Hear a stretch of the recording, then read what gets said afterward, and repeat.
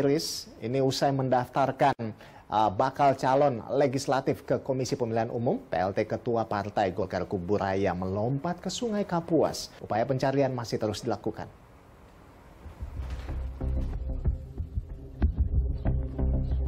Tim SAR gabungan terus melakukan pencarian terhadap PLT Ketua Partai Golkar Kuburaya Muhammad Iqbal Zafarullah yang bersangkutan diketahui melompat ke Sungai Kapuas yang terletak di Kabupaten Kuburaya, Kalimantan Barat hari Minggu kemarin. Sesaat setelah dirinya bersama jajaran pengurus dan bacalek partai mendaftarkan pencalonan legislatif di KPU Kuburaya di hari terakhir pendaftaran bacalek. Saksi mata menyebut peristiwa tersebut bermula saat mobil yang dikendarai korban bersama istrinya memasuki pangkalan pasir di desa Kuala Dua. Jarak remnya tuh kurang lebih tuh 4 meter 5 meter lah bekas aspal itu. Datangnya tuh kita nggak tahu berteriak-teriak tadi bertengkar berarti, mobil. Berarti di sini dia. Di pinggiran ya, berarti, ah. ya. berarti di pinggiran. Itu dia bertengkar, bertengkar. saling bertarik-tarik tuh. Bertarik apa itu? Sama istrinya lah. Mobil tersebut melaju kencang mengarah ke Sungai Kapuas. Sempat terjadi pertengkaran dan tak lama berselang, korban langsung berlari menuju sungai dan melompat. Kami dari kantor SAR Pontianak menurunkan satu tim, satu tim rescue dengan menggunakan alut kita yaitu Sea Rider.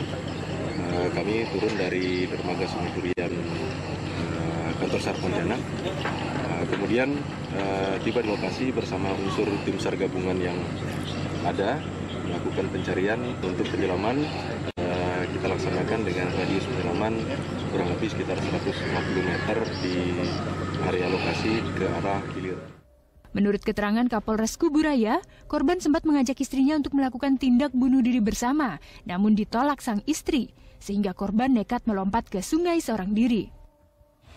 Ada upaya untuk bunuh diri dan mengajak istrinya ke arah uh, Kuala Dua, hmm. tepian Sungai Kapuas yang mana pada saat itu dari keterangan istrinya ini sempat mau diajak untuk terjun sama-sama ke Sungai Kapuas namun